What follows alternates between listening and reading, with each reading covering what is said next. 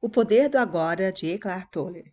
Raio-X Book, vá direto à essência do livro, por Valéria Hora. Introdução. Você está aqui para possibilitar que o propósito divino do universo se revele. Veja como você é importante. Eckhart Tolle. O autor relata que após uma noite de agonia e pânico, deparou-se num diálogo interior. No dia seguinte, ele acordou mais sensível à beleza da natureza e tinha a sensação de ter nascido de novo. E o estado de paz e alegria tornaram-se o seu estado natural. Mais tarde, ele diz que aprendeu a entrar numa dimensão interior eterna e imortal que havia percebido inicialmente como um vazio, e aprendeu a permanecer plenamente consciente assim, alcançando um estado de profunda paz e bem-aventurança. Diante disso, começaram a perguntar a ele como conseguia esse estado. E foi daí que Tolle escreveu este livro e se intitulou como mestre espiritual. Este livro representa a essência do seu trabalho com pequenos grupos na Europa e nos Estados Unidos durante os últimos 10 anos. A proposta do livro é que o livro chegue às mãos de pessoas que estão prontas para uma transformação interior radical e que atuará como catalisador dessa mudança. Palavra-chave do livro é ser e presença. O autor faz uma outra observação na introdução, que é para não ler apenas com a mente o seu livro. Não há nenhuma verdade espiritual que eu possa lhe contar, ele diz que já não esteja no seu interior. Então, tudo que ele revela aqui já pertence a nós, já está no nosso interior. É isso que ele coloca. Capítulo 1 chama-se Você não é a sua mente o maior obstáculo para a iluminação. Antes de tudo, o autor diz que é preciso experienciar as palavras como ser, Deus e iluminação a vivência serena vale mais que a tentativa de compreendê-las apenas com a mente. Nota-se que, ao falar da mente, Eckler está se referindo em especial à nossa capacidade de pensar para julgar e criar suposições. São as vozes tagarelas, barulhentas, a mente condicionada, que nos impedem de termos a percepção do todo nessas né, vozes, nos impede de termos a percepção do todo. O autor afirma que a mente, né, a condicionada, ela precisa ser usada como instrumento e não o inverso. Daí, ele ressaltar a importância da meditação como uma forma de serenar a mente e dar vazão ao nosso eu interior verdadeiro. Então, se você quer viver uma iluminação, precisa aprender a aquietar sua mente e dar vazão ao seu eu interior por meio da meditação. Essa é a chave que ele coloca para nós chegarmos à iluminação. Mas o que é iluminação? O que é isso? É simplesmente o estado natural de sentir-se em unidade com o ser. Então, qual é a finalidade da meditação? É favorecer aí a unidade com o ser. Portanto, é um estado natural nosso chegar à iluminação. Ser é a eterna e sempre presente vida única que existe além das inúmeras formas de vida sujeitas ao nascimento e à morte. Esse estado está a seu alcance agora, sob a forma de um eu interior mais profundo, que é a verdadeira natureza dentro de você só é possível conhecê-lo quando a mente está serena. Ao se identificar com a mente, cria-se o maior obstáculo para a iluminação. É como se fosse uma tela que separa você do eu interior, você e o próximo, entre você e a natureza, entre você e Deus, perdendo a percepção da unidade e criando a separação. Então, o problema de tudo é que nos sentimos separados, desgarrados nesse mundo e não como unidade com o outro e com a natureza. A melhor maneira de lidarmos com nossa mente é adotarmos uma posição de observador de nossos próprios pensamentos. Vale ressaltar que o pensamento é apenas uma parte diminuta da inteligência. Dê o primeiro passo nesse exato momento. Comece a prestar atenção ao que a voz diz aquela voz na cabecinha, não a minha agora. Principalmente a padrões repetitivos de pensamento, aquelas velhas trilhas sonoras que você escuta dentro da sua cabeça há anos. É isso que eu quero dizer com observar o pensador. É um outro modo de dizer o seguinte: ouça a voz dentro da sua cabeça. Esteja lá presente como uma testemunha você logo perceberá: lá está a voz, aqui estou eu, ouvindo-a e observando-a. Eu coloquei aqui a imagem desse barco no rio e uma perspectiva de observador. Porque ele fala que a grande chave de tudo é sermos observadores de nós mesmos, sermos observadores de nosso pensamento. E quando ele disse isso, eu logo lembrei de um conto de Guimarães Rosa chamado A Terceira Margem do Rio. E eu vou colocar aqui no canal, colocar um link na descrição depois para vocês acessarem. A literatura ela transcende a realidade. E parece que Guimarães Rosa estava realmente conectado à unidade para fazer esse conto que se você for ouvi-lo ou lê-lo, você vai ter uma experiência e certamente vai aprofundar ainda mais o conteúdo aqui apresentado pelo autor. Então, qual é a proposta dele? É para não sermos críticos de nós mesmos, e sim observadores, observar. E observar não é você entrar no rio, mas ficar à margem. Você observa a água que passa, você observa o barco que passa, você observa a sujeira que passa, mas você não vai com os seus pensamentos, porque você não é o pensamento, você é o todo. Então, essa questão de você ser observador de seu pensador é a grande chave para você encontrar a permanência no presente. Aí, continuando aqui, né?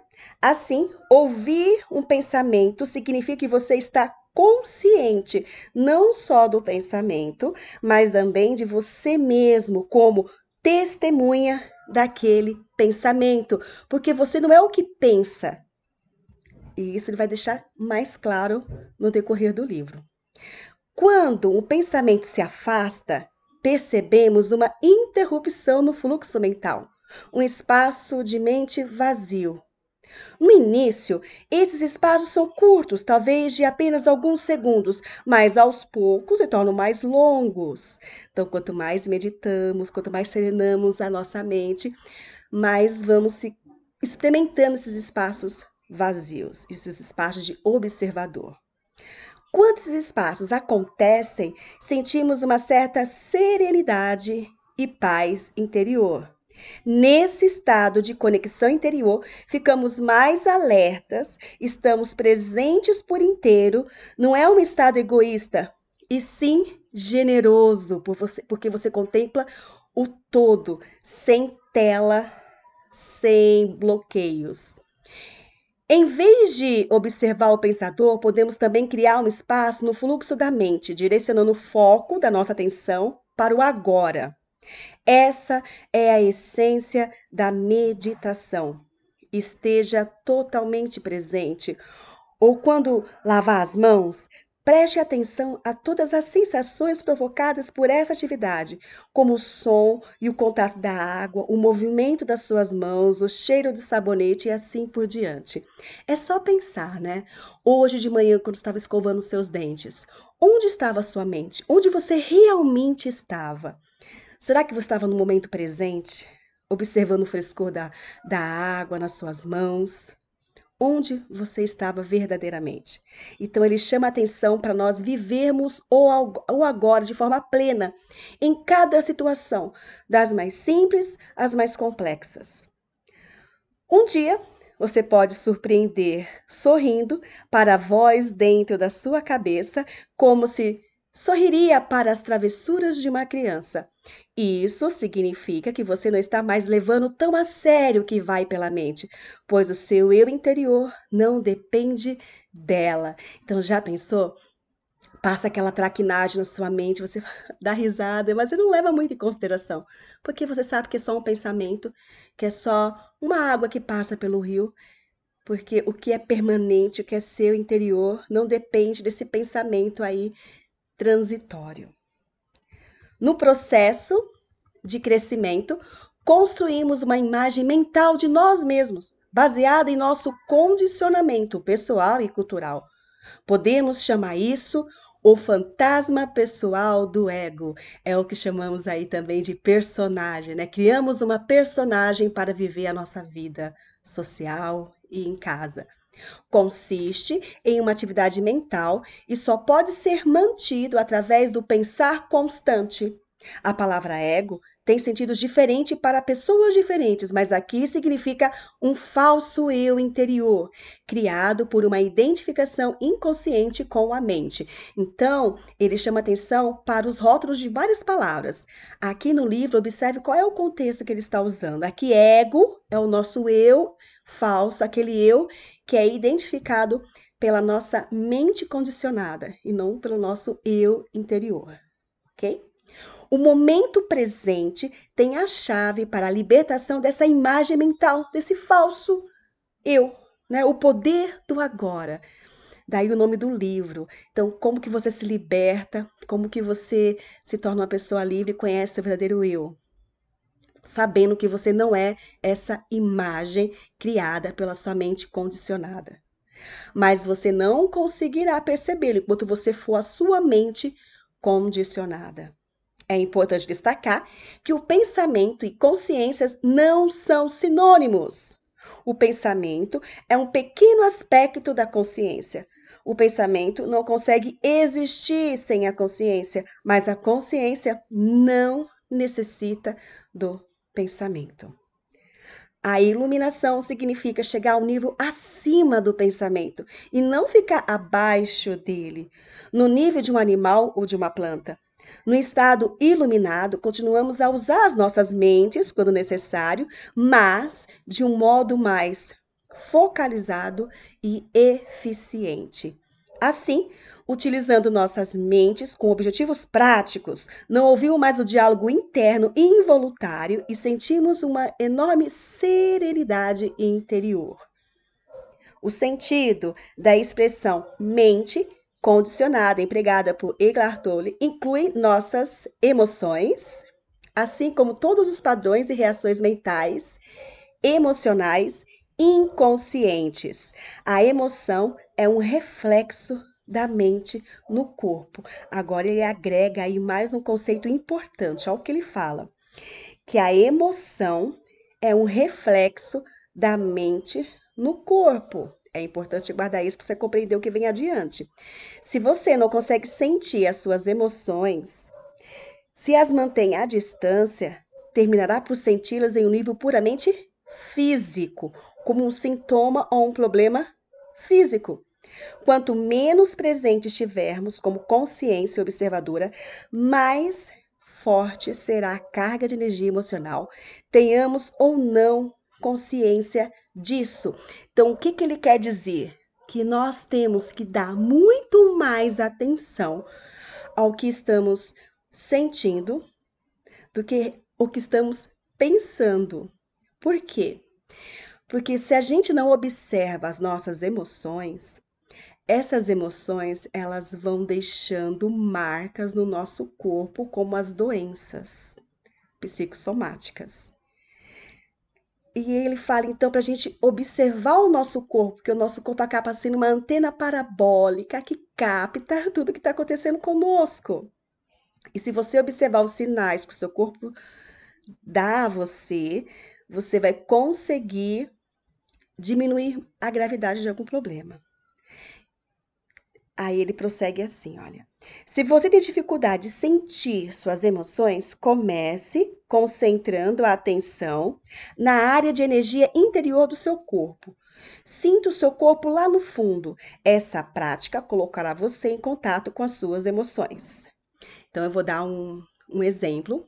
É, há alguns meses, eu não me lembro ao certo, eu passei por uma situação muito difícil que a minha mente não parava, muitas vozes na mente, o sangue parecia que fervia e eu sentia as veias aqui da minha do meu pescoço pulsando. Então, eu coloquei dois dedos assim sobre a, a veia e eu não eu parei de, pensar, de focar no pensamento. Eu simplesmente foquei toda a minha energia, toda a minha concentração no pulsar das veias. E assim eu adormeci. No dia seguinte eu nem me lembrava mais do que estava me afligindo. Por quê? Porque eu dei vazão àquela emoção naquele momento. Eu realmente senti com o meu corpo e não com o meu pensamento. Então é importante a gente sentir dar vazão ao que estamos sentindo e observar onde está a dor, onde está o desconforto, levar para ali e, e vivenciar com o nosso órgão e não com a nossa mente. O que a gente faz geralmente é ficar pensando na dor e não senti-la no corpo, e isso faz toda a diferença. Tá? E tem outras situações também, mas o livro é dele, não, não é meu. Aí, continuando aqui, ele coloca assim: se quisermos conhecer mesmo a nossa mente, o corpo sempre nos dará um reflexo confiável. Portanto, observe a sua emoção, ou melhor, sinta em seu corpo.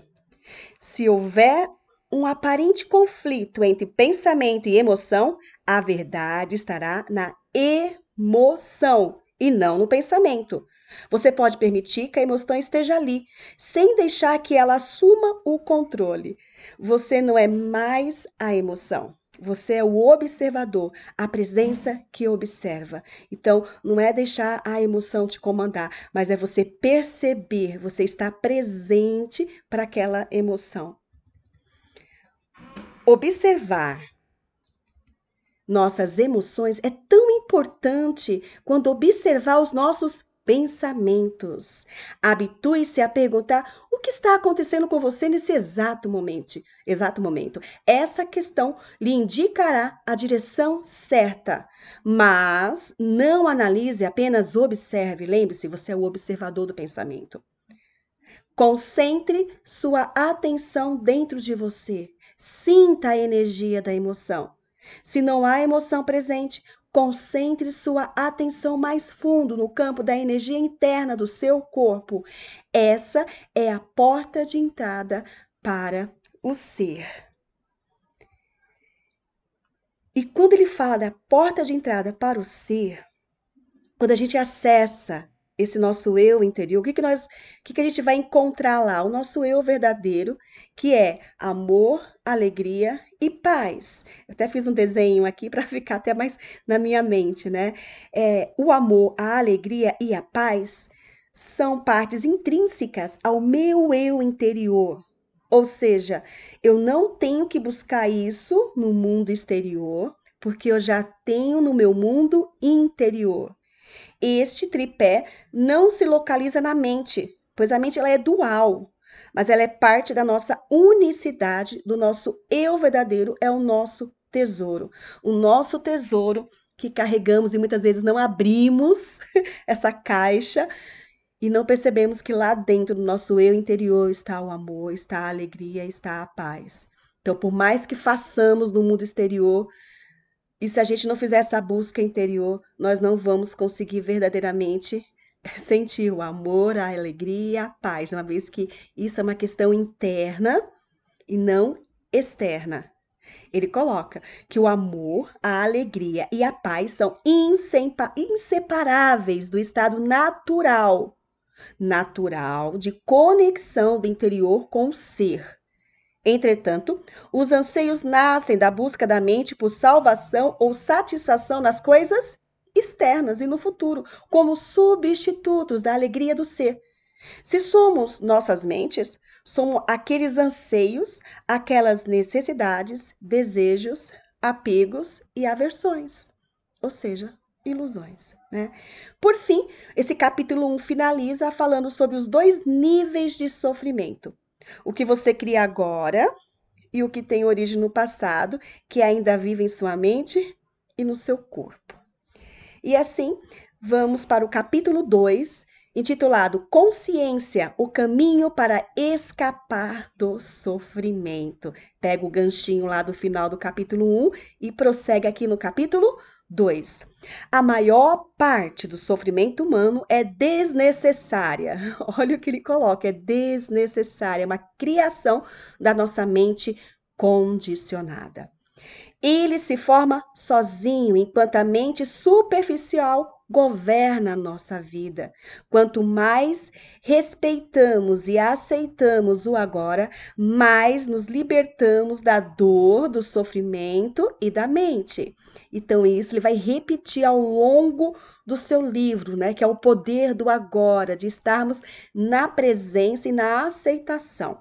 E ele vai explicar o que é essa aceitação. E quando isso não ocorre, né, quando essa não presença, quando não perceber e não vivenciar o agora, temos a resistência e a negação. Estar presente no agora impede que criemos o chamado tempo psicológico, o qual é inseparável da mente condicionada. O passado e o futuro somente existem na mente condicionada. Né? Então, o que, que ele vai combater aqui é o chamado tempo psicológico, a gente fica criando, recriando o passado e imaginando e conjecturando o futuro. Então, esse excesso de passado, esse excesso de futuro é que causa a maior parte dos nossos sofrimentos e problemas.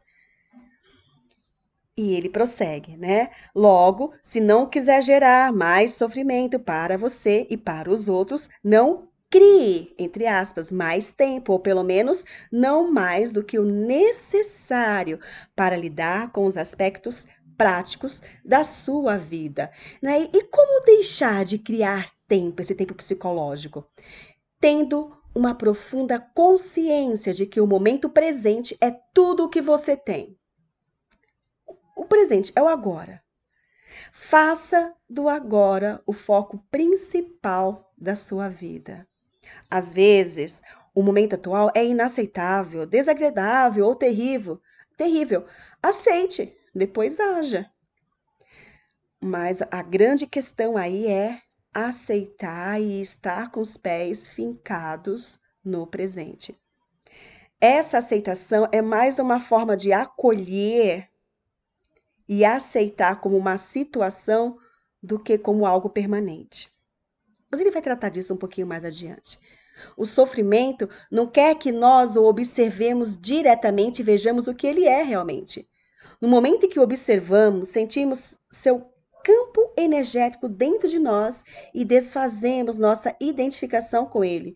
Surge uma nova dimensão da consciência. Chama isso presença. Acabamos de acessar o poder do agora. A inconsciência. O que, que ele chama de inconsciência aqui, gente? Pelo que, gente, que eu pude observar na leitura. Que a inconsciência é o nosso pensamento que gera uma reação. Né? Pisou no nosso pé, dou um tapa na cara do outro. Então, é, essa reatividade do ser humano ele chama de inconsciência. E ele fala para nós estarmos trabalhando para sairmos desse nível de inconsciência, de sermos pessoas reativas. E é essa inconsciência que cria o sofrimento, essa tá sempre reagindo ao externo, sempre reagindo sem buscar uma conexão com o interno. É aí que vem todo o sofrimento. A consciência transforma o sofrimento nela mesma.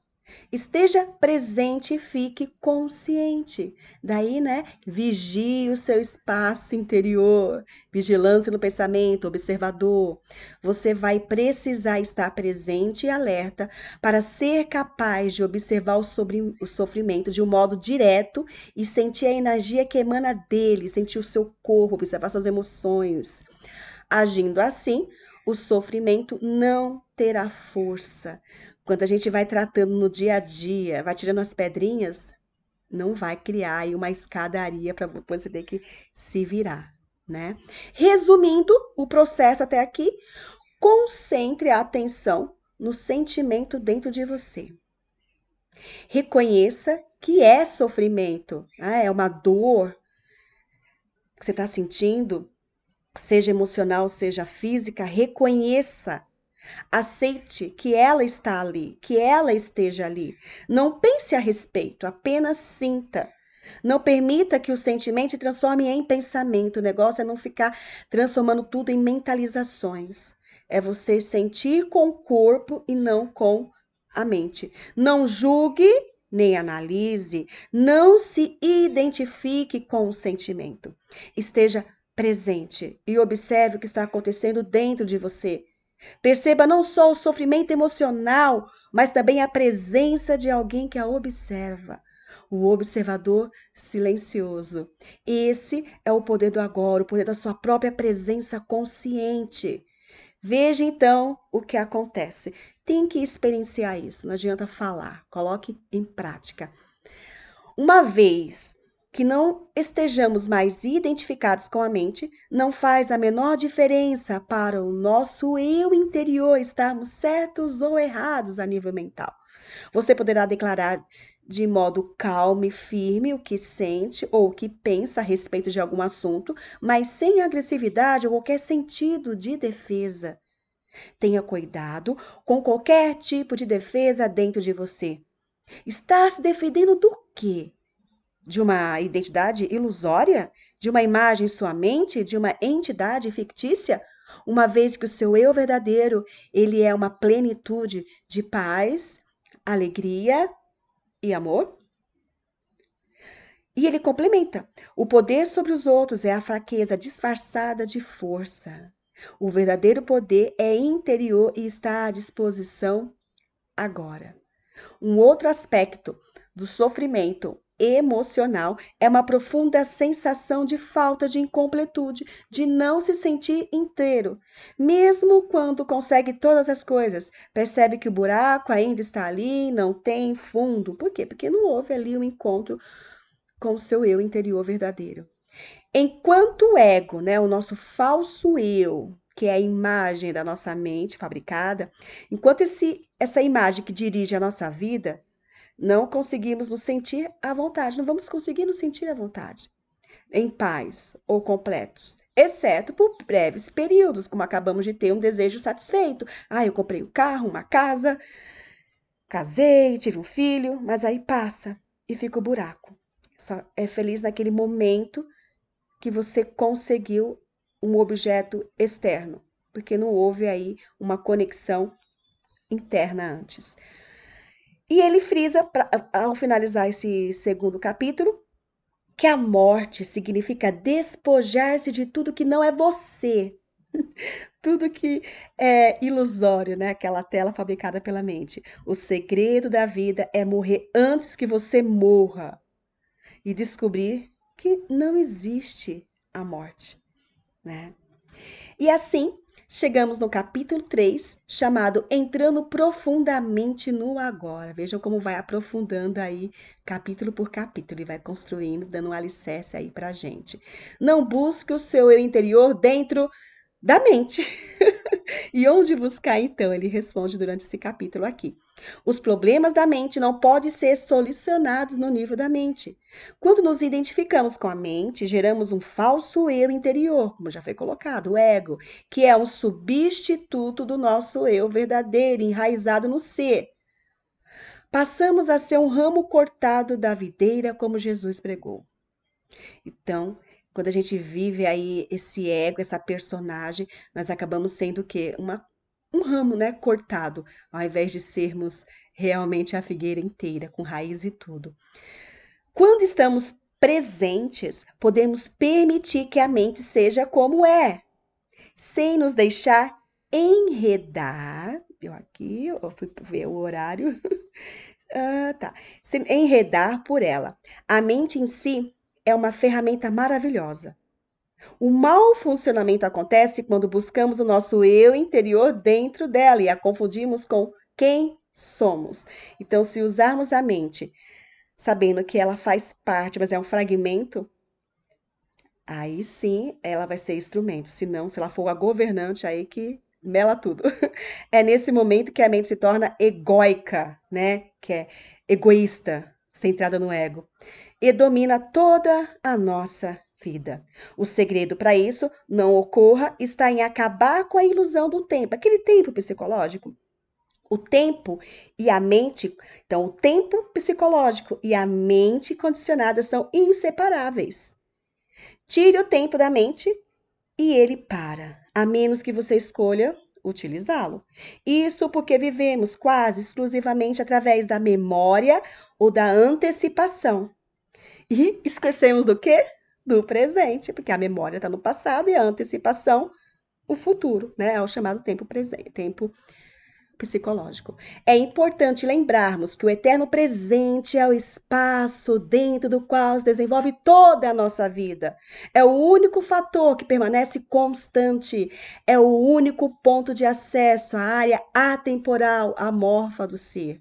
O agora como a chave para a dimensão espiritual. Então, se você quer um encontro, se você quer conhecer a si mesmo, ter um encontro com a fonte, viva o agora. Ninguém que lança a mão do arado e olha para trás é apto para o reino de Deus. Fala sobre essa questão, né? A mente, ela não pode conhecer a árvore. O que ela conhece são apenas fatos ou informações sobre a árvore, sobre a nossa figueira verdadeira. A minha mente não pode conhecer você. Só rótulos, julgamentos, fatos e opiniões sobre você. Só o ser conhece diretamente. Então, aquelas vozes que tentam julgar o outro na minha mente, que é a minha mente para conhecer o outro que é tão intenso quanto eu e é unidade comigo, não é? Resumindo, Concentre seu interesse não só nas reações, mas também na situação, na pessoa que leva você a reagir. Então, é, ele comenta, ele fala a importância de observarmos as pessoas que nos deixam irados, nervosos. Por que aquela pessoa me deixa nervosa? Por que aquela pessoa eh, me deixa angustiada? Você observar, não julgando, mas observando como cientista mesmo. Aí você vai conseguir compreender melhor a si mesmo. Perceber que o problema está em você e não no outro. Perceba também com que frequência a sua atenção está no passado ou no futuro. Lembra quando eu falei hoje de manhã, quando eu estava escovando os dentes? Onde estava a sua mente? No presente, no passado, no futuro, né? Quais vozes que você estava dando atenção em sua mente? Não julgue nem analise o que você observa. Preste atenção ao pensamento. Sinta a emoção, observe a reação. Não veja nada como um problema pessoal. Observe, observe a reação, mas não julgue. No estado normal da consciência, o poder e o infinito potencial criativo do agora estão completamente encobertos pelo tempo psicológicos. Pessoas iluminadas continuam a usar o tempo do relógio, mas estão livres do tempo psicológico. A dificuldade em perdoar envolve necessariamente uma pesada carga de tempo psicológico. Daí ele fala da importância de liberar, liberar, liberar perdão, para você não ficar preso ao passado, viver o agora. Outra distinção importante que precisamos compreender para realmente estarmos no agora é diferenciarmos nossa vida de situação de vida. Gente, isso é fundamental. O que, que é a nossa vida e o que, que é a situação, a circunstância da vida. Esqueça a situação da sua vida por um instante e preste atenção à sua vida. Eu sei que parece meio abissado, nós vamos compreender melhor. Verifique se você tem algum problema nesse exato momento, agora que você está ouvindo aqui. Não amanhã ou dentro de 10 minutos, mas já. Você tem, nesse momento agora? Mova-se profundamente para dentro do agora. Então, o que, que ele fala? O que, que é a nossa situação de vida? Ela existe no tempo psicológico. É coisa da mente. E a nossa vida real é o agora, é o real. Assim, trata-se de perceber que não existem problemas, apenas situações com que temos de lidar com agora ou deixar de lado e aceitar como parte do ser neste momento, até que se transformem ou possam ser negociadas. Então ele fala: se tem um problema agora, o que você pode fazer? Você pode fazer alguma coisa? Então faça. Se você não possa, não pode fazer, não pode abandonar a situação, então aceite. Então, são esses três itens. Primeiro, você tem, se você puder fazer alguma coisa para mudar a situação, beleza, vai lá e faça. Se não pode fazer, mas você pode abandonar, então abandone a situação.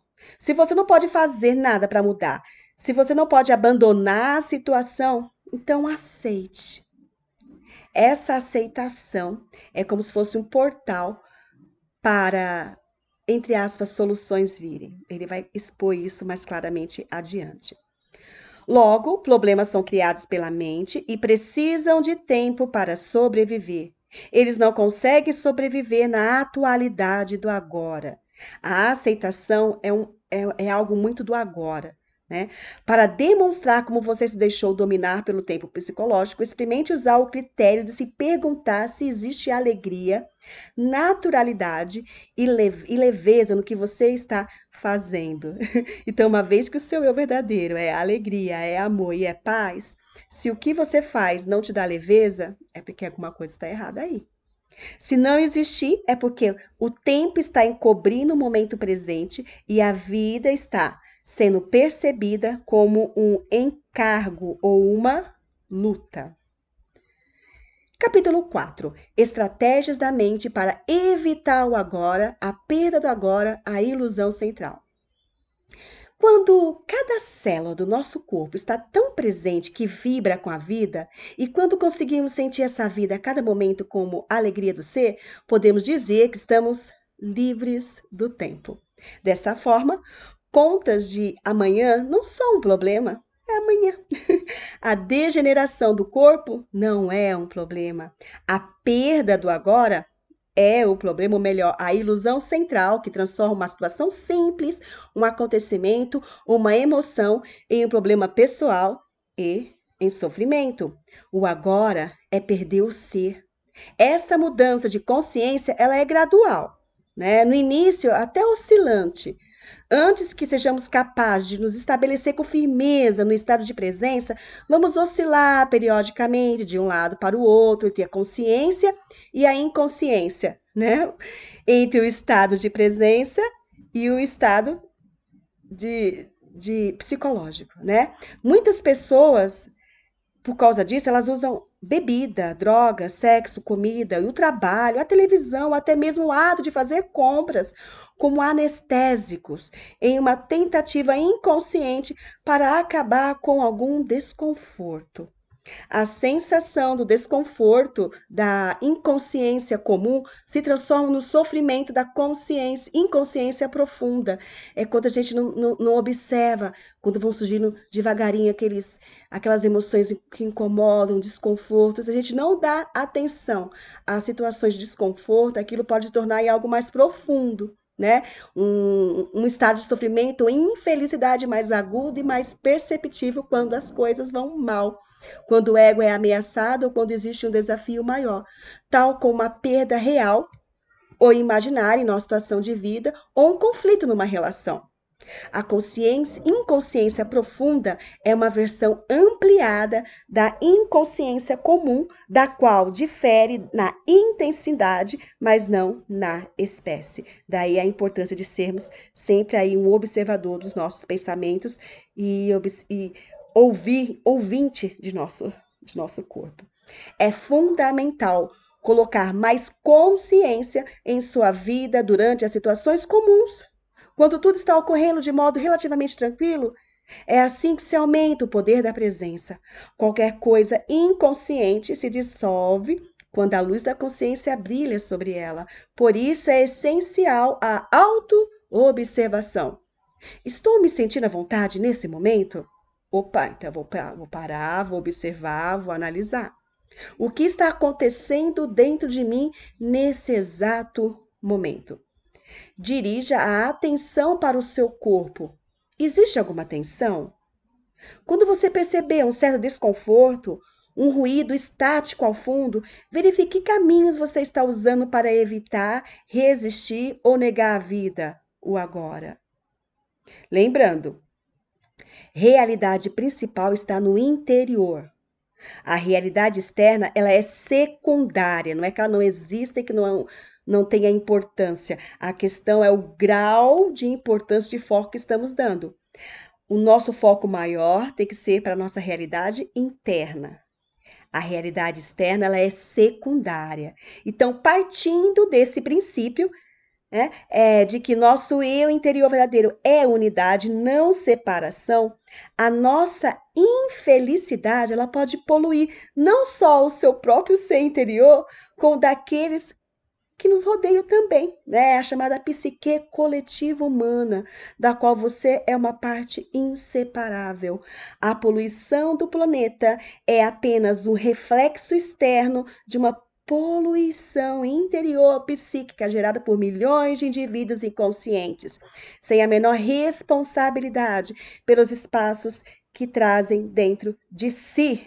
Aí até coloquei essa imagem aí, né? Quanto lixo no chão. É apenas reflexo da nossa realidade, da nossa psique coletiva humana. Quando você pensa na pandemia, é uma produção da nossa inconsciência. Então, a solução é sermos mais conscientes, sermos mais viver mais na, no agora, na essência, né? Você pode parar de executar a tarefa que está lhe causando insatisfação.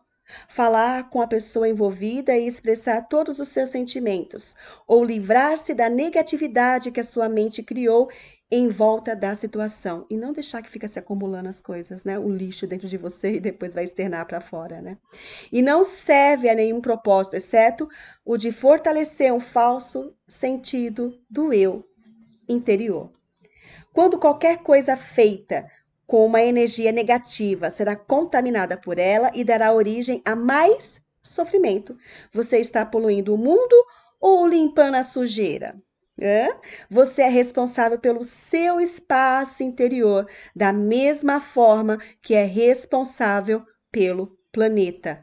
A separação é a base do sentido da identidade do ego, né? Então as pessoas jogam ali o sofá na esquina achando que a rua não é a rua que ela mora e não sabe que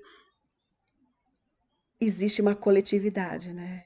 O, o que ela faz com o outro está fazendo consigo mesma. Uma outra questão também é reclamar. Reclamar é sempre uma não aceitação de algo que é. Quando você reclama, transforma-se em uma vítima. Se você acha insuportável seu aqui e agora e isso faz infeliz, há três opções: abandone a situação, mude-a ou aceite-a totalmente. Então veja que é uma questão de escolha, sempre é uma questão de escolha. Abandonar, mudar ou aceitar na integridade, na totalidade. Depois, arque com as consequências, sem desculpas, sem negatividade, sem poluição física. Mantenha limpo o seu espaço, o interior. O falso e infeliz eu interior, que adora sentir-se miserável, ressentido ou com pena de si mesmo, não consegue mais sobreviver. E isso se chama rendição. Há uma grande força nela. Somente alguém que se rendeu tem poder espiritual. E essa rendição vem na aceitação. O contrário, né? O estresse é causado pelo estar aqui, embora se deseje estar lá. Ou por se estar no presente, desejando estar no futuro. É uma divisão que corta a pessoa por dentro. Criar e viver com essa divisão é insano. Por isso que ele coloca, né? Quando se movimentar, trabalhar, correr, faça tudo por inteiro, não dividido, né? Escova o dente por inteiro, lave a louça por inteiro, converse com o outro por inteiro. Desfrute o fluxo de energia, a alta energia desse momento. Agora não há mais estresse, não há mais divisão em dois, apenas o movimento, a corrida, o trabalho, a conversa. Desfrute essas atitudes. Perceba a sua respiração. É uma, uma outra forma também de você se conectar ao seu interior, é você perceber a respiração, sentir o ar entrando e saindo do seu corpo, sentir o campo interno de energia. Pergunte-se qual é o seu problema nesse exato momento. Olha, veja que as ideias vão se repetindo agora, não no ano que vem, ou amanhã, ou daqui a cinco minutos. Você pode sempre enfrentar o agora, mas não pode jamais enfrentar o futuro, nem de fazer isso. podemos melhorar a situação da nossa vida, mas não podemos melhorar a nossa vida porque ela já é íntegra, já é completa, já é perfeita. A situação em si, a gente pode melhorar sim, né? E ela é uma circunstância, ela não é o que nós somos. Entretanto, não há nada de errado em estabelecermos metas e nos empenharmos para conseguir bens. O, re, o erro reside em usar isso como um substituto para o sentimento da vida, para o ser. Então, é lógico, o primeiro plano sempre qual que é? É a realidade interna, depois a externa. Não que não tenhamos que nos preocupar com as externas, né? O único ponto de acesso a isso é o agora. Agimos assim como um arquiteto que não dá atenção às fundações de uma construção, mas que gasta um bom tempo projetando os acabamentos. Não, né? Vamos cuidar do alicerce, do interior. E uma outra questão também, olha, assim, a gratidão pelo momento presente e pela plenitude da vida atual é a verdadeira prosperidade. Não está no futuro, mas vivermos com plenitude cada ato nosso, né? Será como que nós estamos vivendo? Nós estamos sendo pais meia boca, amigos meia boca, pessoas meia boca? Não, né? É tudo com plenitude, né? Que ele coloca. Então, no tempo certo, né, quando fazemos essa questão com plenitude e gratidão, no agora, essa prosperidade se manifesta para nós de várias maneiras. Apenas seja e aprecie ser e quando você se vir escorregando para a espera, ah, vou esperar acontecer isso. Não, pula fora. A questão é o agora, ser grato agora, é ser pleno agora. A única coisa real sobre a nossa jornada é o passo que estamos dando nesse exato momento. Isso é tudo que existe, é o poder do agora. Se o destino ou os passos que vamos dar no futuro tomam tanto nossa atenção, que se tornam mais importantes do que o passo que estamos dando agora, isso significa que perdemos completamente o propósito interno da vida, que não tem nada a ver com aonde estamos indo ou com o que estamos fazendo, mas tudo a ver com o que de que modo estamos fazendo, né? Com a plenitude, com a presença. Esse propósito interno não está relacionado com o futuro, e sim com a qualidade da nossa consciência no momento presente. Sim, é importante projetar, fazer metas, mas sempre tem que vir depois do cuidado com o nosso interior. O propósito externo pertence à dimensão horizontal do tempo e espaço, enquanto o interno diz respeito ao aprofundamento do ser na dimensão vertical do eterno agora. Coloquei aqui na tabelinha para ficar algo mais didático para a gente, né? Então, qual que é o seu propósito interno? O como estamos vivendo agora, a qualidade da nossa consciência no momento presente, o aprofundamento do ser na dimensão vertical do eterno agora, contém apenas um passo, que é o agora, né? A jornada para dentro de nós mesmos. E o propósito externo pertence à dimensão horizontal de tempo e espaço e pode conter mil passos. E lembrando que o propósito externo ele tem que ser secundário, o propósito interno ele tem que ser o primeiro. Quanto mais cedo você perceber que o propósito externo não pode lhe proporcionar uma satisfação duradoura melhor, melhor. Você vai poupar muitas frustrações na vida, né? Mas se quiser ir aprendendo, apanhando e caindo, a gente também aprende assim. Depois de ter constatado as limitações do seu propósito externo, você desiste da expectativa irreal de que ele deveria fazer a sua felicidade e torna-o supervi ente ao seu próprio interno, superviente que atende ao nosso propósito interior. Então, na verdade, o, o propósito externo tem que servir ao nosso propósito interior, ou seja, ressignifique o seu propósito externo para que ele sirva ao seu propósito interno. Você vai economizar aí muitas frustrações, sofrimentos e doenças na sua vida. Um outro tópico que ele comenta nesse mesmo capítulo é: o passado não consegue sobreviver diante da presença. Né? E o que resta quando termina as ilusões? Não há necessidade de investigar o nosso passado inconsciente, ficar lá remoendo. Ai, onde está o problema da minha vida? Eu vou ficar eh, revisitando várias situações. Ele falou que não precisa fazer isso exceto à medida que ele for se manifestando no presente, na forma de um pensamento, de uma emoção, de um desejo, de uma reação ou de algo externo que nos aconteça. Aí sim, né, você vai observar e ver o que é possível se fazer para mudar ou aceitar. Só o presente pode nos livrar do passado. Dê atenção ao seu comportamento. Olha lá o observador, as suas reações, o seu humor, os seus pensamentos, suas emoções, medos, desejos, de forma com que eles aconteçam no presente, não no passado. Ali está o seu passado. Se você consegue estar presente o bastante para observar todas essas coisas, não de modo crítico, analítico, mas sem julgamento, isso significa que você está lidando com o passado e dissolvendo através do poder da sua presença. Isso porque, quando ficamos mais conscientes do presente, podemos ter um insight sobre o porquê de determinados condicionamentos. Podemos perceber, por exemplo, se seguimos algum padrão nós, no, nos nossos relacionamentos podemos ver mais claramente coisas que aconteceram no passado. E fazer isso é bom e pode ser útil, mas não é essencial. O que é essencial é a nossa presença consciente. É ela que dissolve o passado.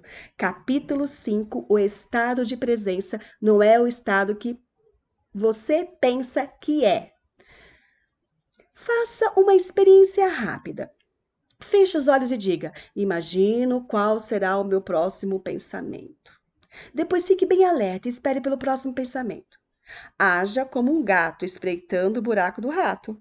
Que pensamento será que vai sair do buraco do rato? Experimente já.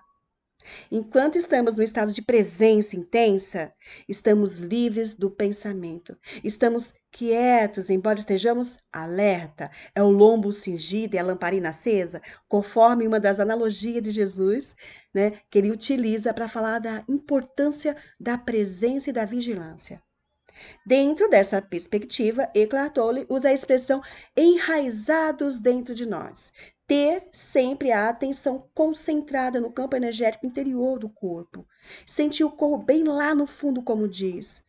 A consciência do corpo nos mantém presentes, alertas.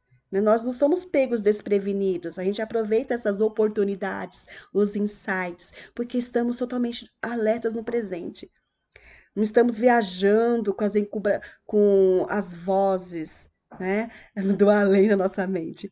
É, mantém ela nos dá uma base firme nessa né, presença no agora. Alguma coisa pode acontecer a qualquer momento. E se você não estiver absolutamente acordado e calmo, vai perder. Esse é o tipo de espera da qual Jesus falou, né? Estarmos sempre ali com a lamparina acesa, com azeite na botija. Não há nenhum espaço para fantasias, pensamentos, lembranças, antecipações, ou seja, é necessário eliminar o tempo psicológico.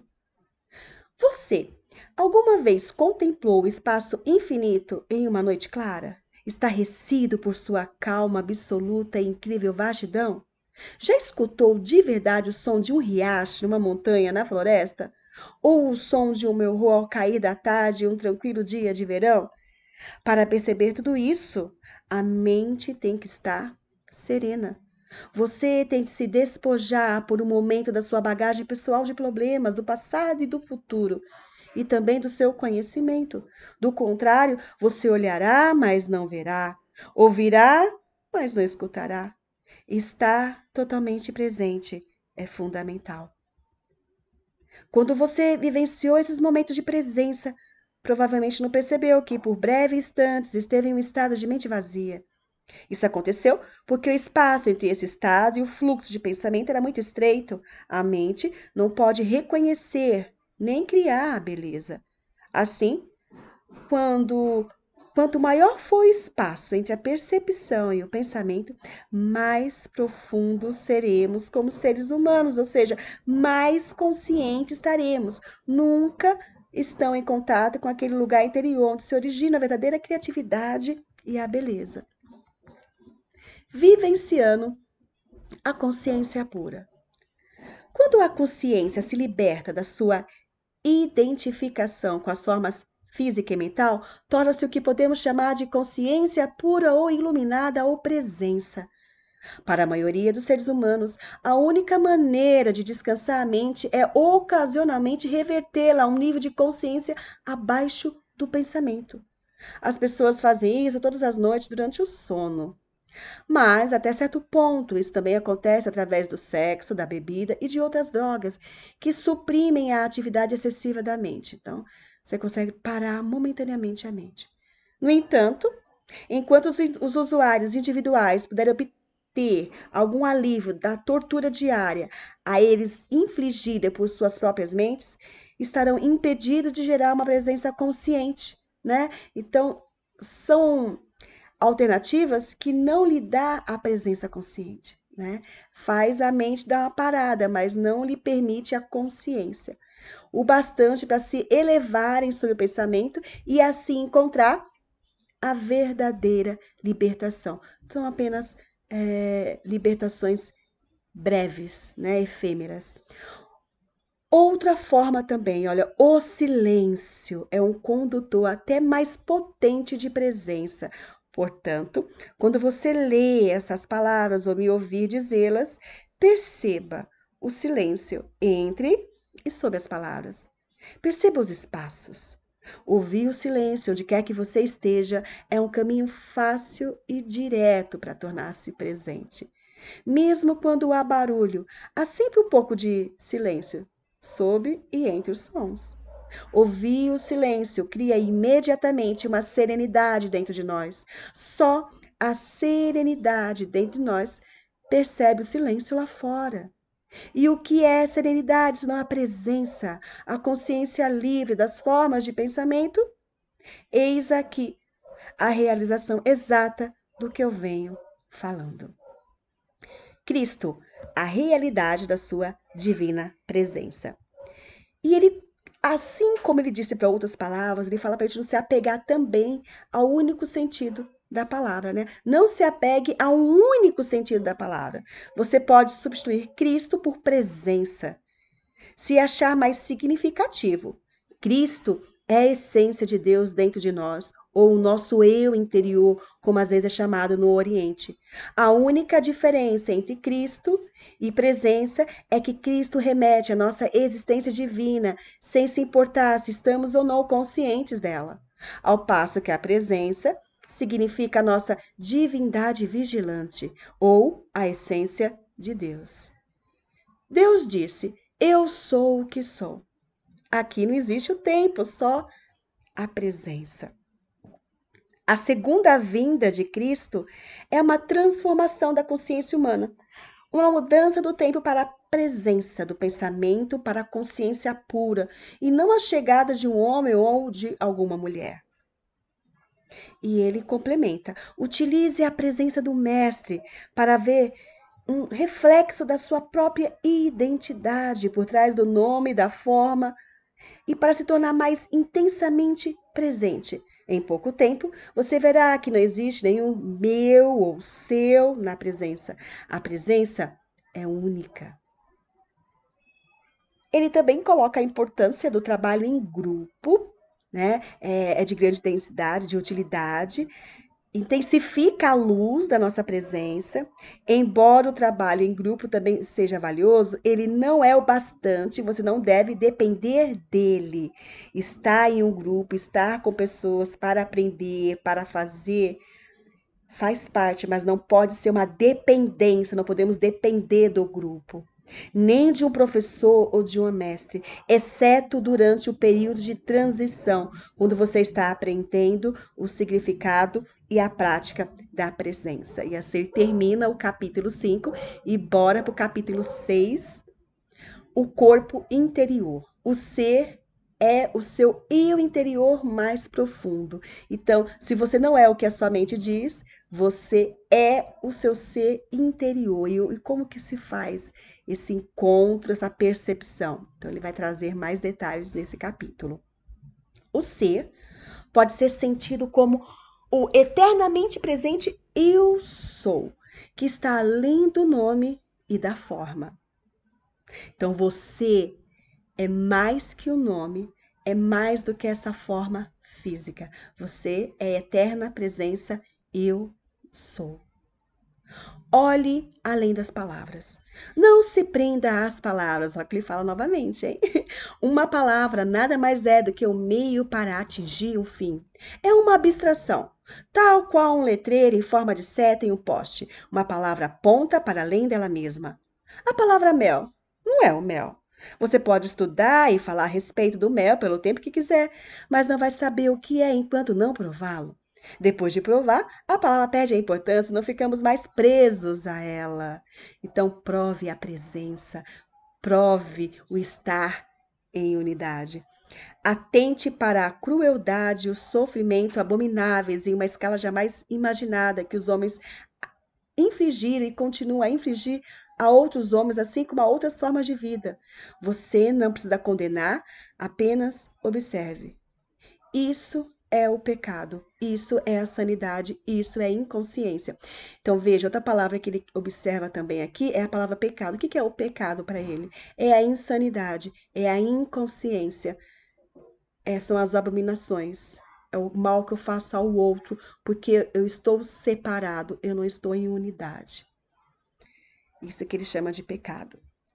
Encontre a sua realidade invisível e indestrutível. O corpo que podemos ver e tocar não consegue nos conduzir para dentro do ser, mas esse corpo visível e palpável é só uma casca, ou melhor, uma percepção limitada e distorcida de uma realidade mais profunda. Em nosso estado natural de conexão com si, essa realidade mais profunda pode ser sentida a cada momento como o corpo interior invisível, que é a presença viva dentro de nós. Portanto, habitar o corpo é sentir o corpo bem lá no fundo, de modo a sentir a vida dentro dele e assim realizar que somos algo além da forma exterior. Você é muito mais que um corpo.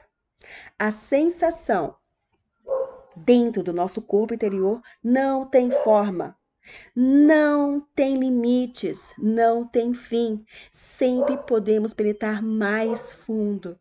Se você não consegue sentir muito bem esse estágio, preste atenção ao que consegue sentir.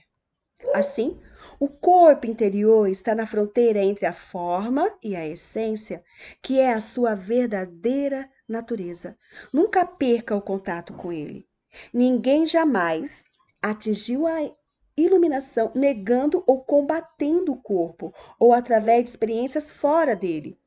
Embora uma experiência desse tipo possa ser fascinante, nos proporcionar um vislumbre do estado de libertação de forma material, no final, sempre temos de voltar para o corpo, que é onde acontece o trabalho essencial de transformação.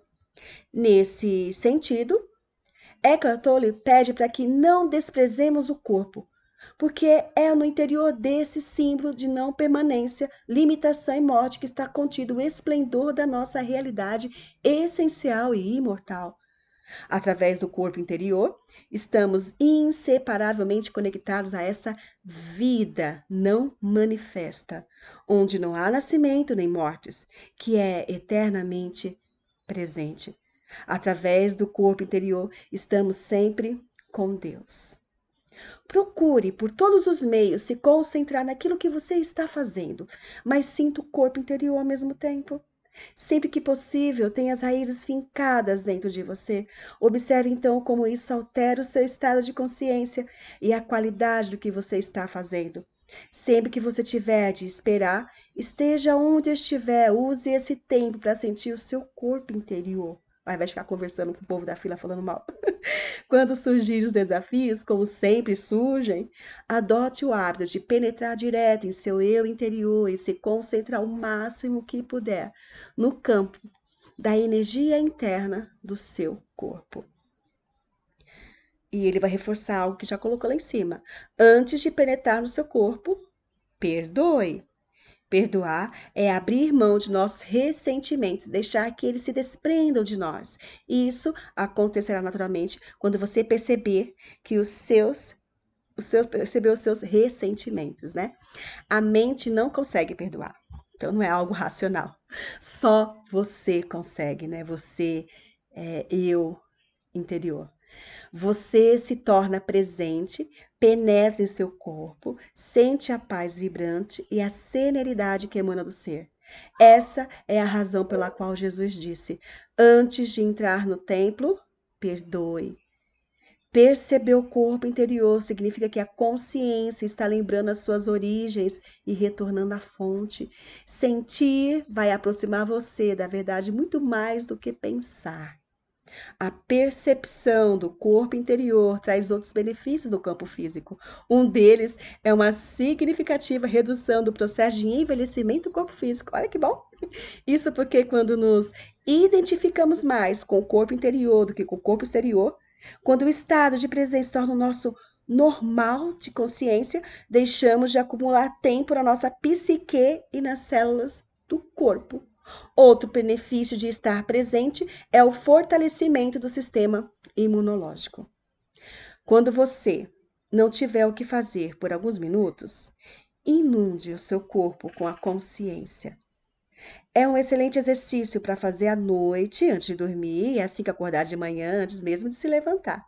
Feche os olhos, deite-se de costas, escolha partes diferentes do corpo a dirigir a sua atenção, por alguns momentos, como mãos, pés, braços, pernas, abdômen, peito, cabeça. Sinta o campo de energia dessas partes, tão intensamente quanto puder. Detenha-se mais ou menos por uns 15 segundos em cada ponto. Deixe sua atenção percorrer o corpo como uma onda dos pés à cabeça e da cabeça aos pés. Leva apenas alguns, cerca de alguns minutos.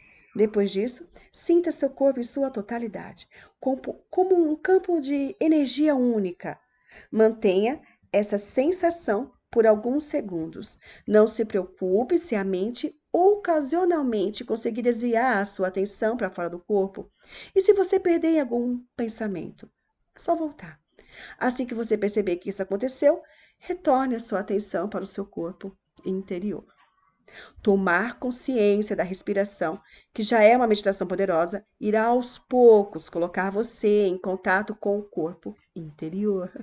Sinta essa substância luminosa preenchendo todo o seu corpo e tornando luminoso. O uso criativo da mente. Caso você precisa, precise usar a mente para um propósito específico, use-a em parceria com o seu corpo interior. Sempre que for necessária uma resposta, uma solução, uma ideia criativa, pare de pensar por um momento.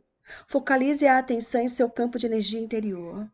Tome consciência da sua serenidade.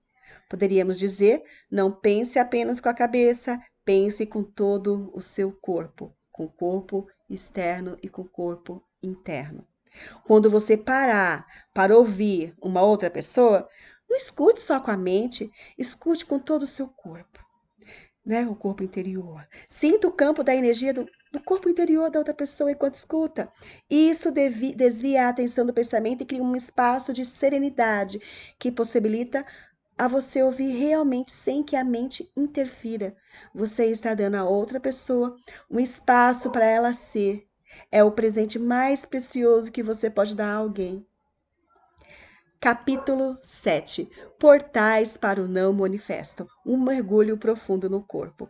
Quais são os portais né, para esse não manifesto? Ele coloca alguns aqui. Começa pela meditação sentar-se, respirar, a luz, né? Com a prática se descarta a visualização, então muitas vezes as pessoas começam a meditar fazendo uso de visualizações, mas ao amadurecer nessa prática, vai descartando a visualização para realmente é, parar com a mente e simplesmente respirar e sentir o seu corpo. Ao entrar profundamente no corpo, você transcendeu o corpo. Depois retome a consciência do corpo físico Aí é sempre o caminho de volta, né?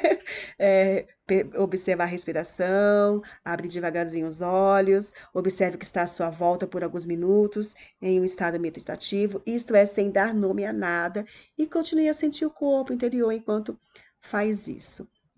Ele também fala da fonte chamada Chi, que Chi é o campo de energia interno do nosso corpo.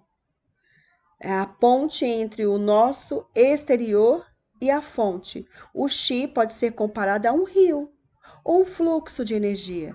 O Chi é o movimento, enquanto o não manifesto é serenidade.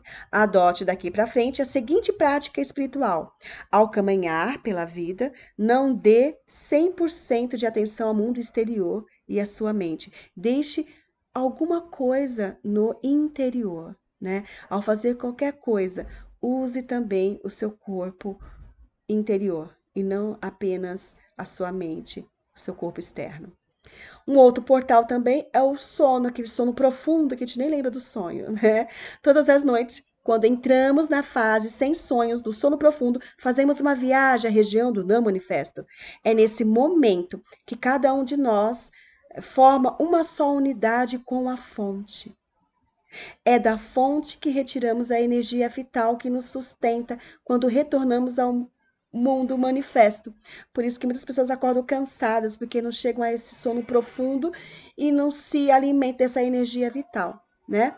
É, essa energia ela é muito mais importante, essa energia vital, do que o alimento.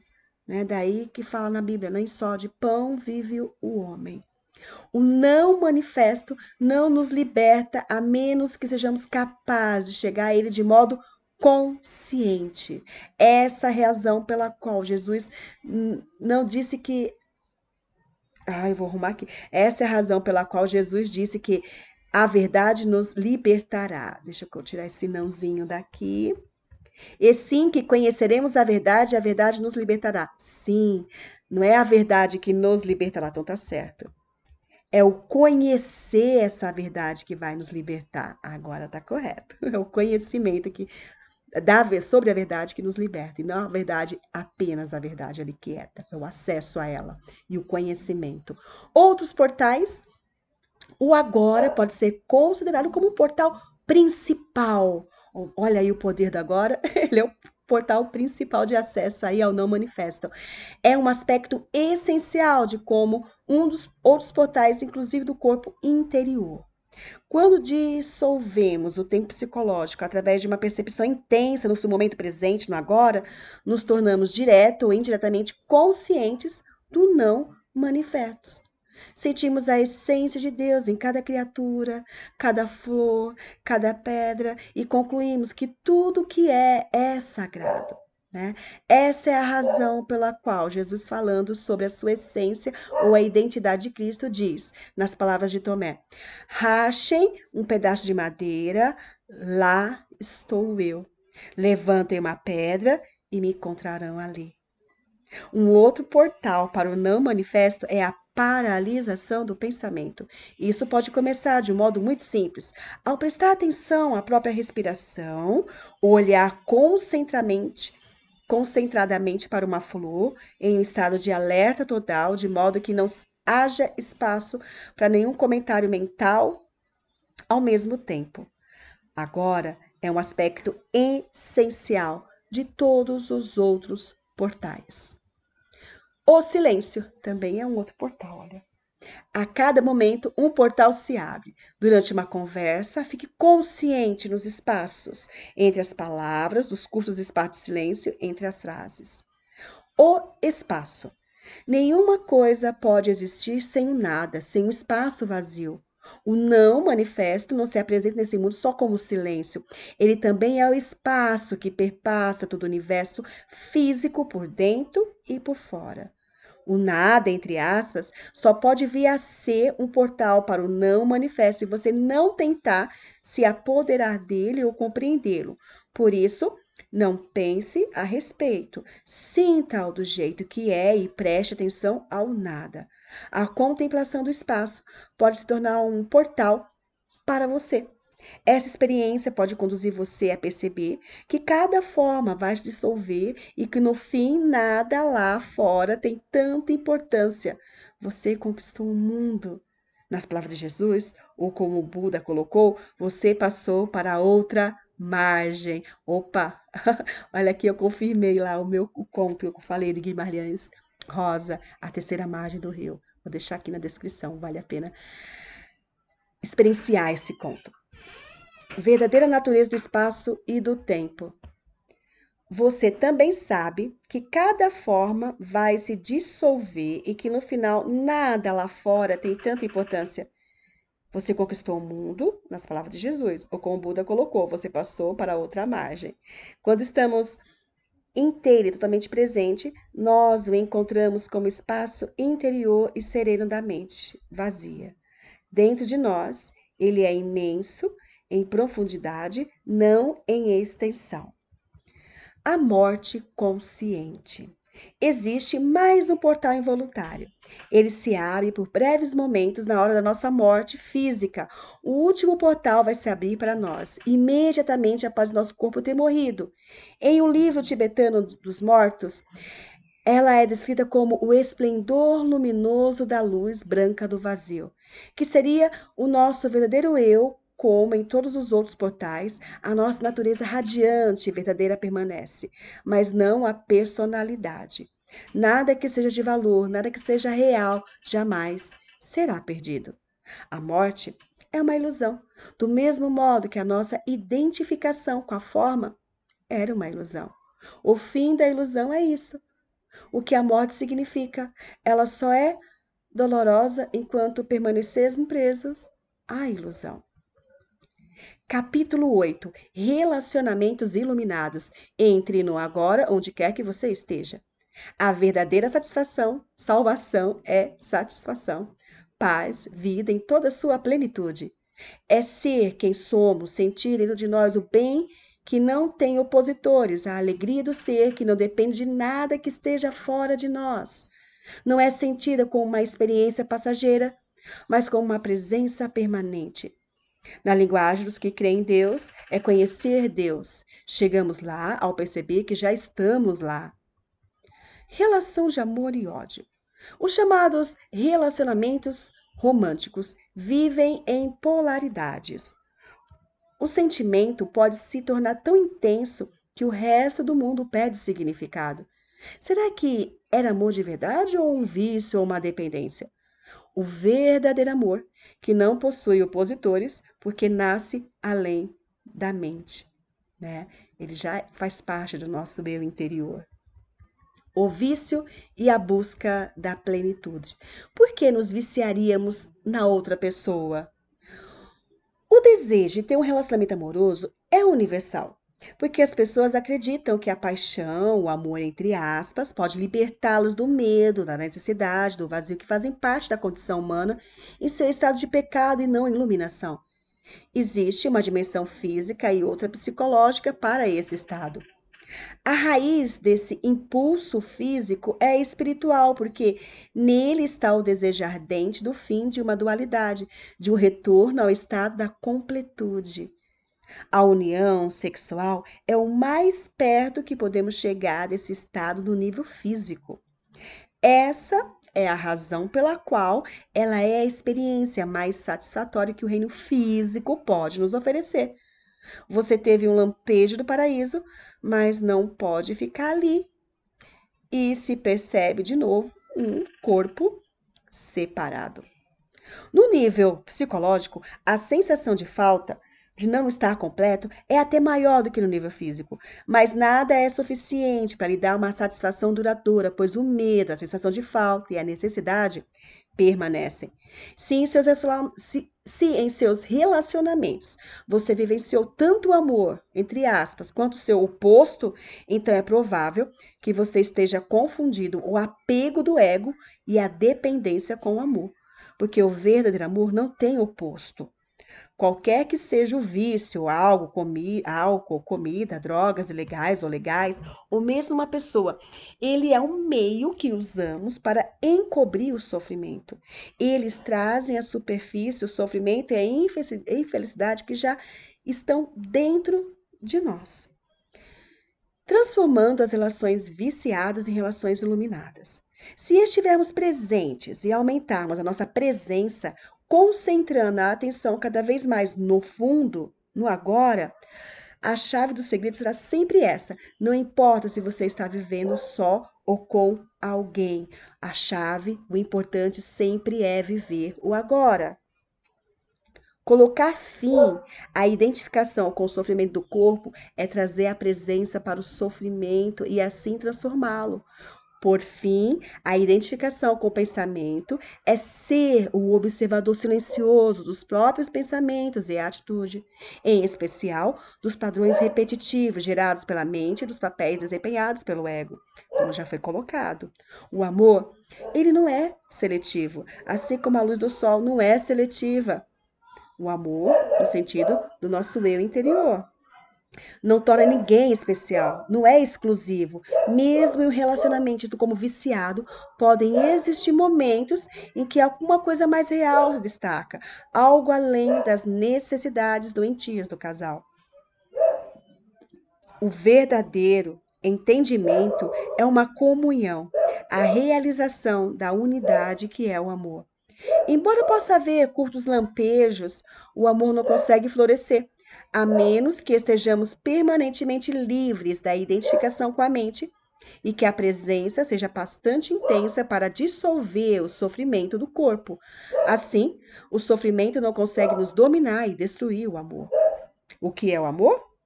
É sentir profundamente a presença da vida única, Deus, em nós e dentro de todas as criaturas, por isso que não é seletivo. Como os seres humanos têm se identificado cada vez mais com a mente, a maioria dos relacionamentos não tem as raízes fincadas no ser. Por isso, se transforma em fonte de sofrimento e passe dominados por problemas e conflitos. A oportunidade escondida dentro de cada crise não se manifesta até que sejam conhecidos e aceitos todos os fatos, de qualquer tipo, relacionados a uma situação.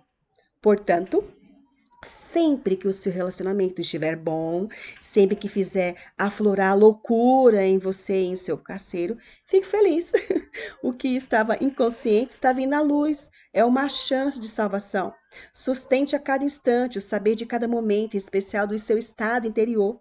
Por outro lado, se você reage à inconsciência do seu parceiro, você também fica inconsciente.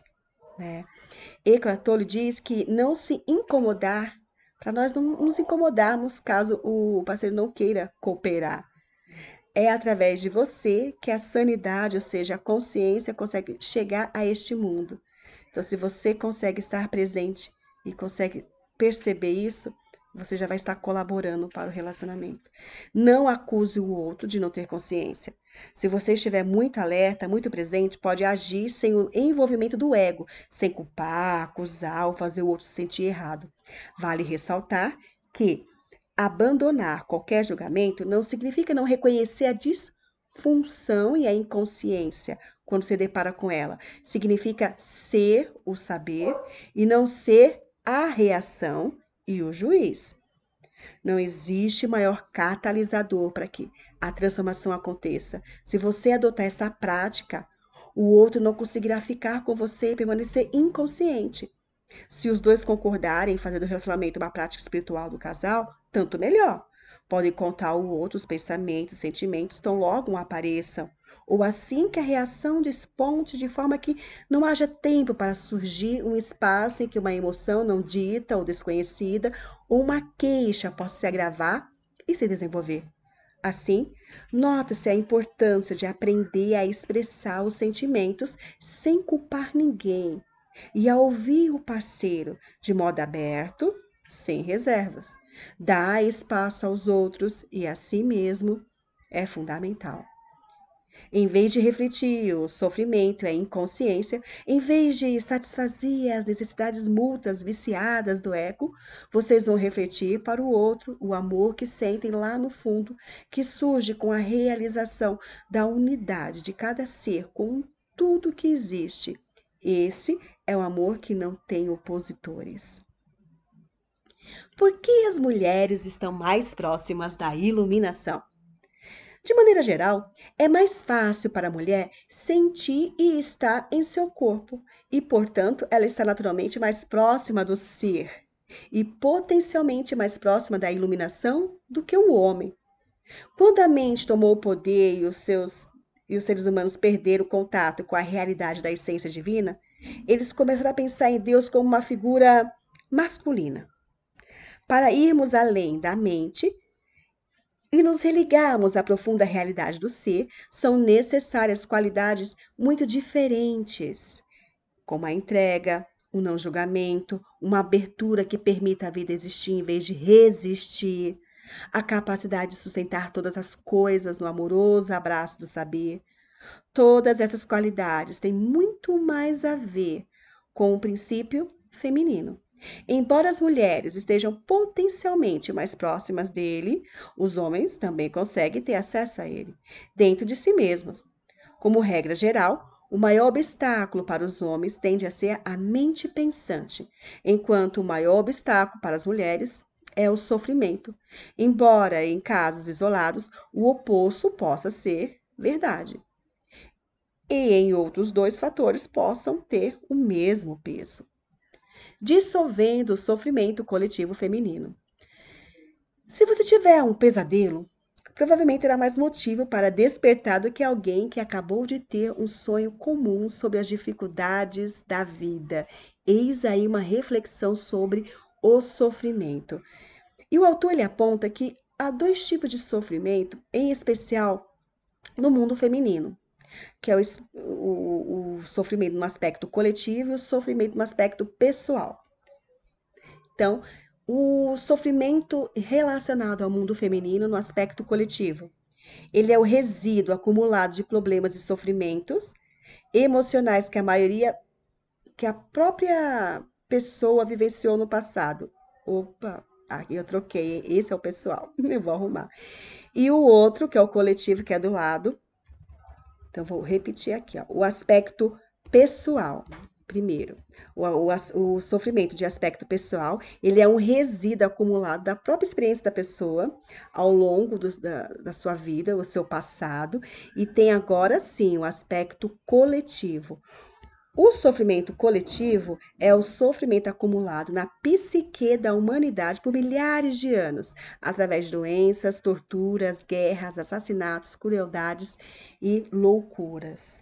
Assim, além do sofrimento pessoal, cada mulher tem participação naquilo que pode ser descrito como sofrimento feminino coletivo. A menos que ela esteja plenamente consciente, trata-se do sofrimento acumulado vivido por cada mulher em parte pela dominação dos homens sobre as mulheres pela escravidão, exploração, por estrupo, partos e perda dos filhos.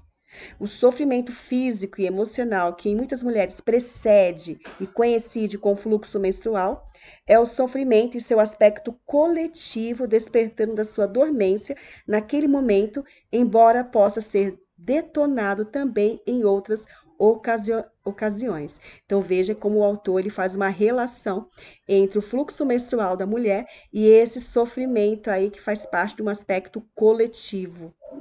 A tarefa principal da mulher é transformar o sofrimento de forma que ele não mais se interponha entre ela e o seu verdadeiro eu interior. Tolle reforça dizendo que não se deve usar o sofrimento para criar uma identidade, se usá-lo para a iluminação. Uma das melhores épocas para fazer isso é durante a menstruação. Quando a mulher perceber que o período menstrual está se aproximando, antes mesmo de sentir os primeiros sinais do que é comumente chamado tensão pré-menstrual, o despertar do sofrimento coletivo feminino, manter-se muito alerta e ocupar o corpo o mais que puder. Atenção completa significa a aceitação completa. Da aceitação vem a transformação. A menstruação irá então se tornar não só uma expressão de alegria e realização da sua feminilidade, mas também um tempo sagrado de transformação, quando você faz nascer uma nova consciência. Está sempre alerta ao corpo, né? E sentir realmente a emoção naquele momento. Sempre que o sofrimento dominar você, seja durante a menstruação ou em outras ocasiões, o seu parceiro não vai confundi-la com quem confundir tais reações com quem você é. Então, ter aí a parceria dos filhos e do marido é importante nessas situações. Desistindo do relacionamento consigo mesmo, estamos indo para o final do livro. Iluminado ou não, no nível da sua identidade com a forma, você não está completo. Você é a metade do todo. Caso a necessidade de uma polaridade masculina ou feminina não seja preenchida, é perfeitamente possível para uma pessoa iluminada perceber que falta alguma coisa no nível externo e, ao mesmo tempo, sentir-se totalmente completa e satisfeita no nível interno. Até certo ponto, ser um estranho, né, alguém que não se enquadra na sociedade, né, com que os outros falam, ou é rejeitado por eles por qualquer razão, torna a vida difícil, mas também traz uma vantagem com relação à iluminação. Tira você da inconsciência quase que a força. Por outro lado, se você desenvolve um sentido de identidade baseado na sua homossexualidade, por exemplo, que é algo que muitas vezes a, a sociedade não aceita como um enquadrado no, no aspecto comum. Então, a questão da homossexualidade pode ser uma vantagem se você levar isso como um aspecto para a iluminação, para se desenvolver. Mas se você se identificar com isso, apenas se identificar com esse item, então você não está vivendo a sua plenitude. Aí então você vai cair numa armadilha. Você vai desempenhar papéis e jogos ditados pela imagem mental que tem de si mesmo como homossexual. No estado de iluminação, você é você mesmo, se funde em um só. Você não se julga, não sente pena de si, não se orgulha de si, não se ama, não se odeia. Capítulo 9. Muito além da felicidade, da infelicidade existe a paz. A felicidade depende de circunstâncias consideradas positivas, ao passo que a paz interior não precisa delas. Sempre que acontece alguma coisa negativa, há uma lição embutida embora nem sempre se perceba isso na hora. Uma doença, um acidente pode mostrar o que há de real ou irreal em uma situação, aquilo que é importante e o que não é. Para ser mais preciso, as circunstâncias não são positivas e nem negativas, são do jeito que são. Quando aceitamos as coisas como são, o bem ou o mal deixam de existir em nossas vidas. Só o que existe é um bem supremo, que inclui o mal, mas, pela perspectiva da mente, existe o bem, o mal, o igual e o diferente, o amor e o ódio. É por isso que no livro de Gênesis está escrito que Adão e Eva não tiveram mais permissão para habitar o paraíso, quando comeram da árvore do conhecimento do bem e do mal. Essa permissão passa para ser, nos transporta para além da mente, com os seus padrões de resistências que geram as polaridades positiva e negativa. Quando a pessoa amada acabou de morrer, ou se sentimos a nossa própria morte se aproximar, não podemos nos sentir felizes, é óbvio, é impossível, mas podemos estar em paz. O fim dos dramas em sua vida. Muitas das assim chamadas coisas más que não acontecem na vida são devido à inconsciência, as quais são criadas por nosso ego, quando vivemos de uma completa aceitação do que é, todos os dramas da nossa vida chegam ao fim. Ninguém consegue ter a mais leve discussão conosco, não importa quanto tente. Não se pode discutir com alguém completamente consciente. Há impermanências e os ciclos da vida. Enquanto permanecermos na dimensão física em conexão com a psique humana coletiva, o sofrimento, embora raro, ainda pode acontecer. Não devemos confundi-lo com o sofrimento emocional. Todo sofrimento é criado pelo ego e fruto de uma resistência. Além disso, nessa dimensão, ainda nos sujeitamos à natureza cíclica, à lei da impermanência de todas as coisas. Mas já não vemos mais o sofrimento como uma coisa má. Ele simplesmente é. Ao permitir o existir de todas as coisas, uma dimensão mais profunda por parte do jogo dos opostos se revela para nós com uma presença permanente, uma serenidade plena e estável, uma alegria sem motivo, que se situa além do bem e do mal. Essa é a alegria do ser, a paz de Deus. Você pode ser ativo e apreciar a criação de novas formas e circunstâncias, mas não deve se identificar com elas. Você não precisa delas para obter um sentido eu interior. Elas não são a sua vida, elas pertencem à sua situação de vida. Um ciclo pode durar de algumas horas a alguns anos, e dentro dele pode haver ciclos longos ou curtos. Todas as circunstâncias são altamente estáveis e estão em um fluxo constante. A impermanência é uma característica de cada circunstância, de cada situação com que vamos nos deparar na vida. Sobre isso, Jesus falou: Não acumule tesouros na terra, onde as traças e a ferrugem arruinam tudo, onde os ladrões arrombam, arrombam as paredes para roubar. Enquanto a mente julgar uma circunstância boa, seja um relacionamento, uma propriedade, um papel social, um lugar, o nosso corpo físico, ela se apega e se identifica com ela. E isso faz você sentir bem em relação a si mesmo e pode se tornar parte de quem você é ou pensa que é. Mas nada dura muito nessa dimensão, onde as traças e a, e a ferrugem devoram tudo tudo acaba ou se transforma a mesma condição que era boa no passado, de repente se torna ruim. Assim, nada lá fora vai conseguir nos trazer satisfação, a não ser por um tempo de um modo superficial. Eles podem lhe dar prazer, mas não trazer a alegria. A alegria não tem uma causa e brota dentro de nós como a alegria do ser. É uma parte essencial do estado da paz interior conhecida como paz de Deus. É o nosso estado natural, não algo porque tenhamos de lutar para conseguir. Não oferecer resistência à vida é estar em estado de graça, de descanso e de luz. Esse estado não depende de as coisas serem boas ou ruins. O ser nos transporta para além das polaridades da mente e nos liberta da dependência da forma utilizando e abandonando a negatividade.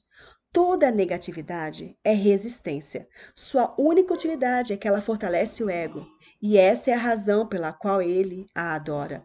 Os únicos animais que eventualmente vivenciam alguma coisa semelhante à negatividade ou mostram sinais de comportamento neurótico são os que vivem em contato íntimo com os seres humanos e assim se ligam à mente humana e à insanidade deles.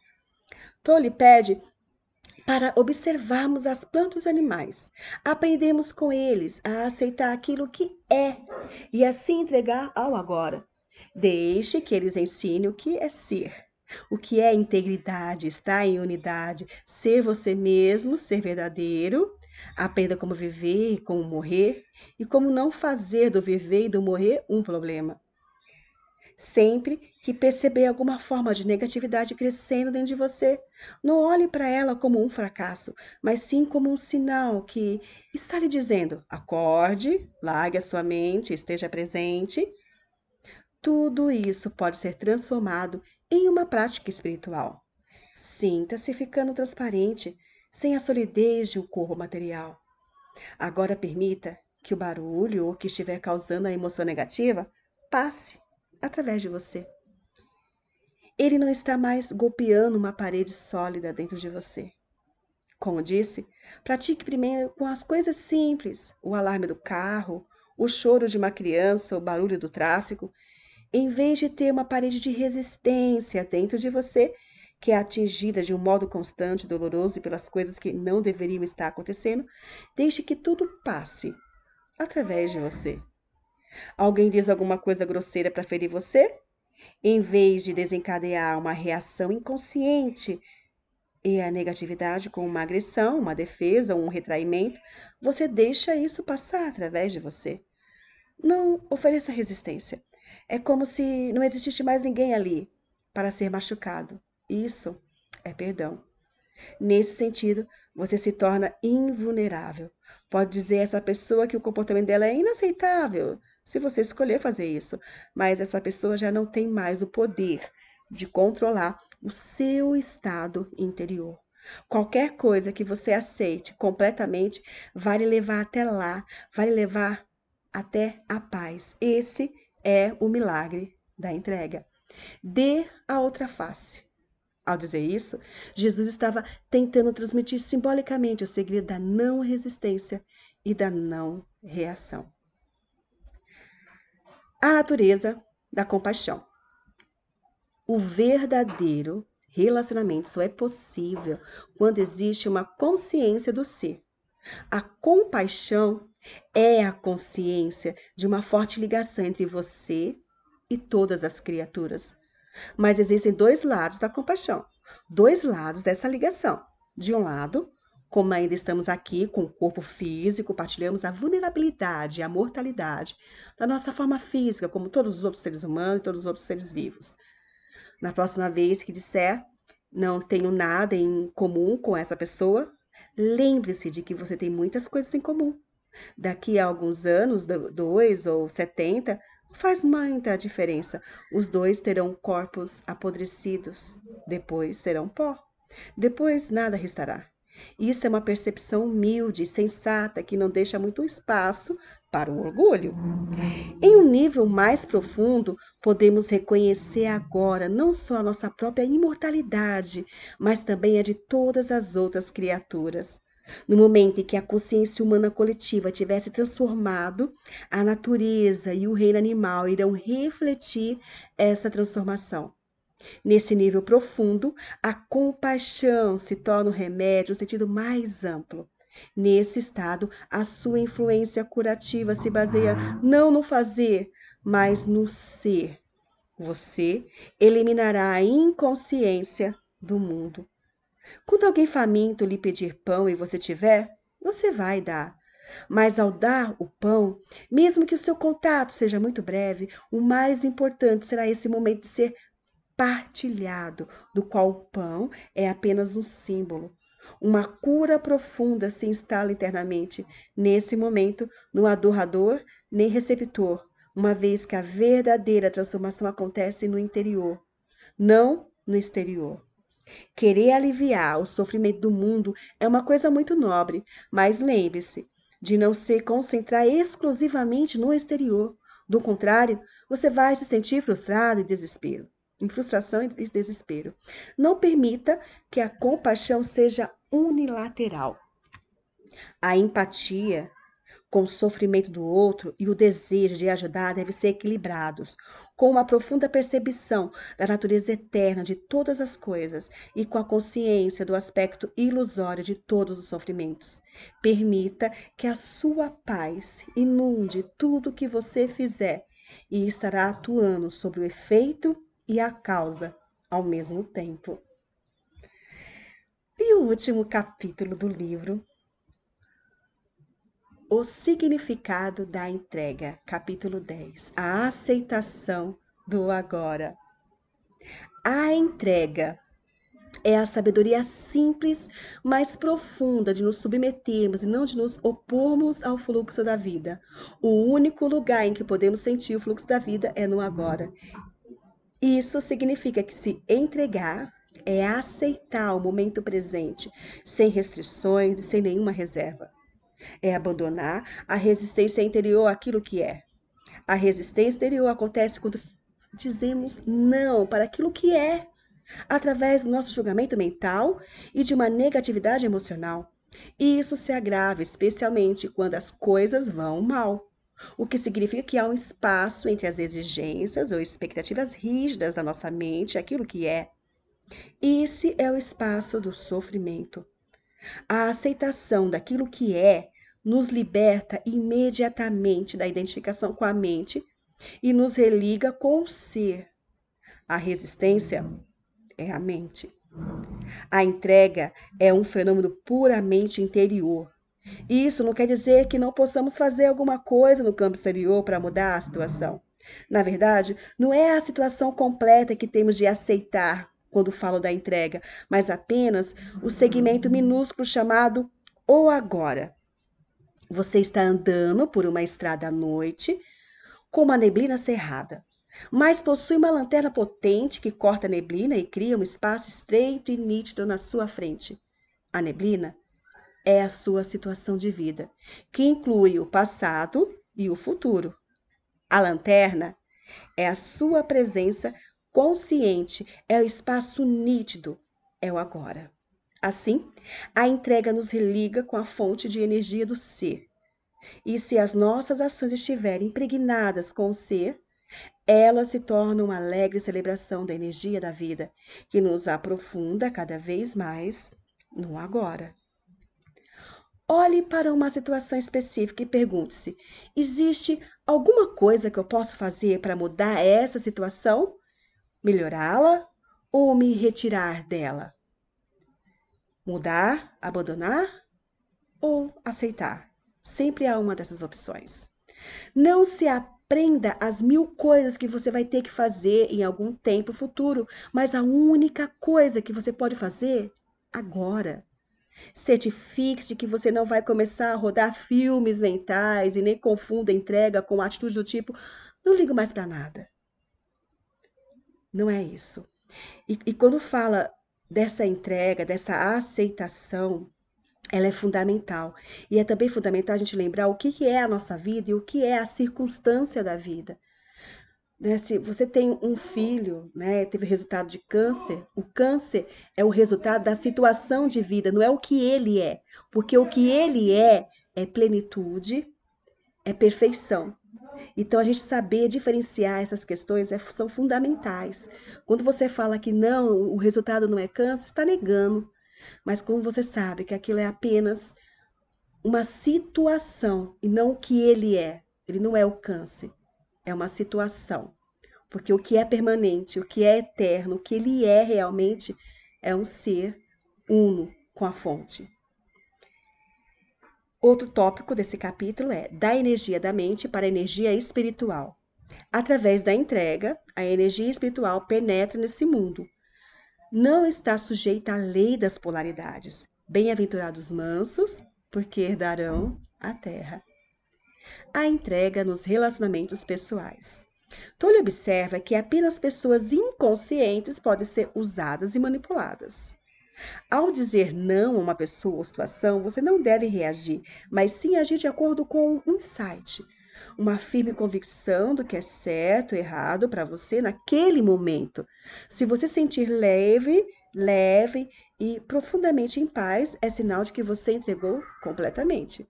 Observe então o que acontece, a posição mental da outra pessoa, já que você não mais a energiza a oferecer resistência. Como quando abrimos mão da identificação com as nossas posições mentais, começa a verdadeira comunicação com outra. Não resistência significa que qualquer fazer se torna não reação. Você não reage, você faz com convicção, no sentir a paz e a leveza, transformando a doença em iluminação. As doenças fazem parte de nossa situação de vida. Assim, possuem um passado e um futuro. O passado e o futuro formam contínuo, sem interrupção, a menos que o redentor poder do agora seja ativado através da nossa presença consciente, como você sabe, por baixo de várias condições que constituem a nossa situação de vida, que existe no tempo, há uma coisa mais profunda, mais essencial, a sua vida, o seu próprio ser dentro do eterno agora. A entrega não transforma aquilo que é, a menos não diretamente. A entrega transforma você. Se você tem uma doença grave, use-a para alcançar a iluminação.